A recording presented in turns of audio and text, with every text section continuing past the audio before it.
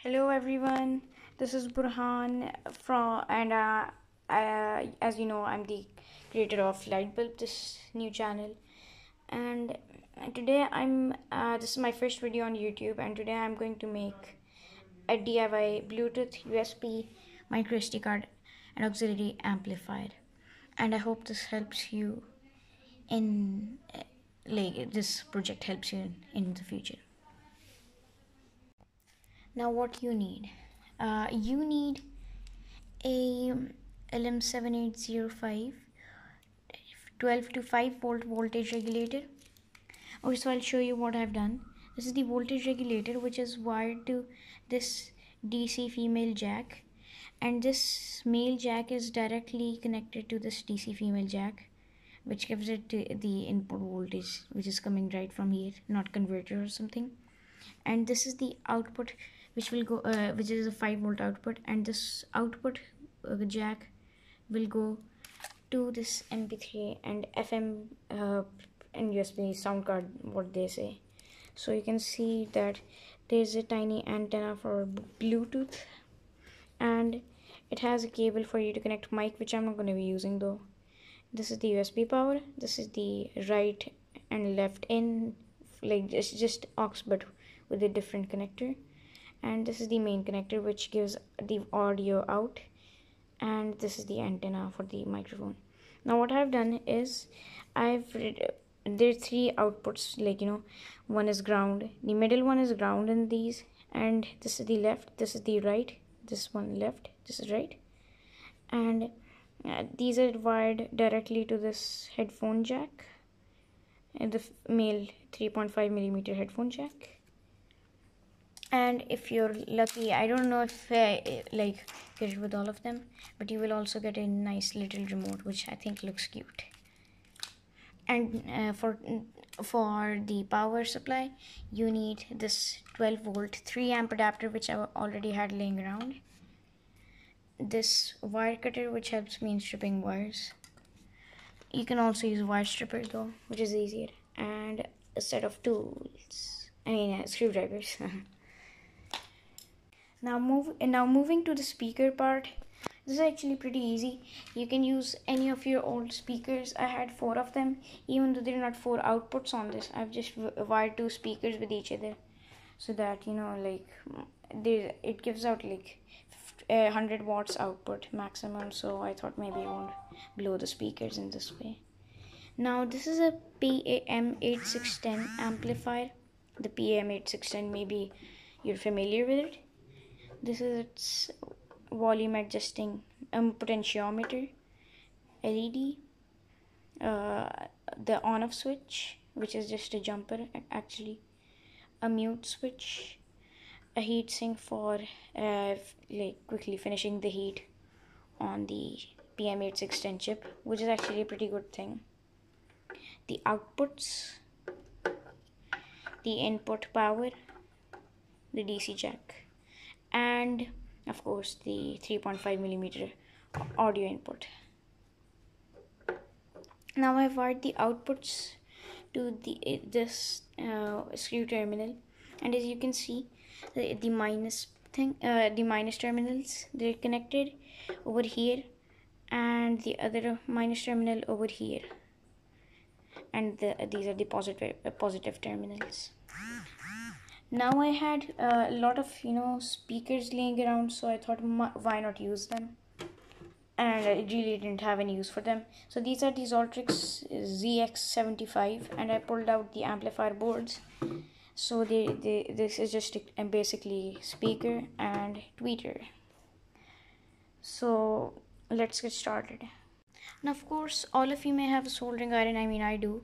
This is how i've made this converter and if you search online you can get a diagram but I'll show you a quick diagram of how to make it. Just need to buy an LM7805 voltage regulator. Ask the person or just buy it online on Amazon. So this is the 12 volt input. This one over here the middle one is the uh, ground all ground. And this one on the left is the 5 volt output. So I hope that makes you understand and this I've already showed you in the starting it has a USB, Bluetooth, micro SD card, auxiliary, and FM radio.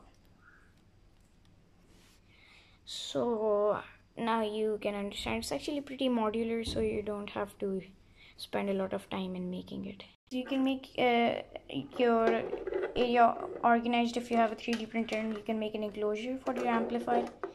But now I was going to use my hot glue gun, uh, but I don't have hot glue gun sticks, so I can't stick it over here or something.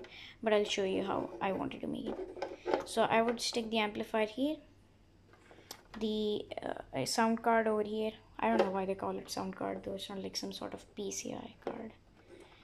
So I'll plug in the like Bluetooth modules output like this in the input of the PAM8610 amplifier and you have to get uh, uh, give both of these things the power input which I have already showed you. I've made this converter oh yeah I forgot to tell you.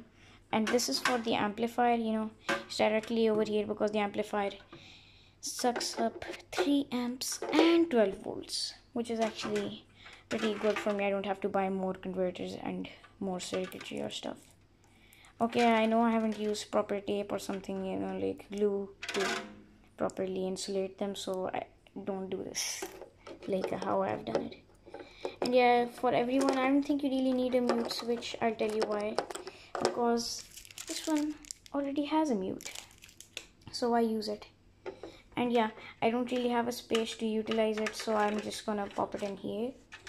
And we're gonna connect the power input done. And I think that is it for the amplifier. Make sure to wire the speakers with the correct polarity so that the uh, capacitor with the tweeter inside it doesn't blow up with reverse polarity or something. I don't know if that's gonna happen because I mean it's low power so maybe you know other people know better than me. I don't know that much. So yeah let's try all of these speakers okay so I've connected this adapter the 12 volt adapter over here with this extension I made and let's plug it in and see how it will work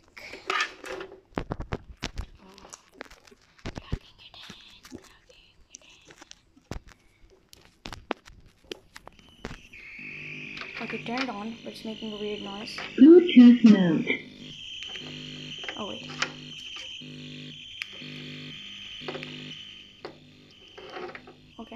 Why it's making it. I'm sorry, people. Oh, wait. I didn't plug it. The headphone jack in properly. Still making a weird noise. Sorry, I think you people can solve it. I'm not really a genius in this. Yeah, I think it's because of the AC voltage interfering with the output. Yeah, I need an enclosure, uh, you know, mm, place to mount this all and give it an enclosure otherwise this will actually problem be problematic this definitely does not look good. So yeah. If you anybody can solve it please put it down in the comments. And I will see if it works. Now let's power up my phone and see if I can play some music. Hmm. I'm gonna go to Bluetooth.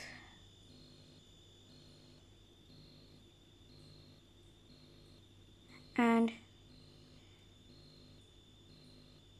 gonna go to Bluetooth and search for the name of the device. Now, for my case, it's the BT 62016s3 yeah we're gonna connect to it. And you can hear the voice right away. Now I'm gonna lower uh, lower the volume because my volume is seriously a lot yeah I think it's it, this voice is because of the interference of the AC voltage so sorry for that. Really sorry.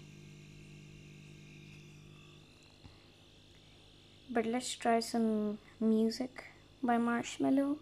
Oh, yeah make sure to check his channel. He's really good oh yeah these are pretty loud. These are pretty loud actually. Nice. To do it i think the interference goes when you play the song.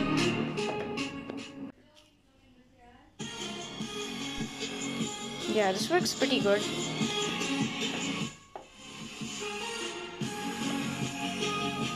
okay so about the other features i think you can check out the usb because i don't have a usb or sd card laying around. I know the aux works and the fm radio but the fm radio is too loud and there's not much signal here so i'm not gonna try it. And hope you like this video. Make sure to like share and subscribe and at least let me reach one yeah 50 subs. You know that like one sub is also great achievement for me and I hope this helped you. So, see you all in the next one, and bye.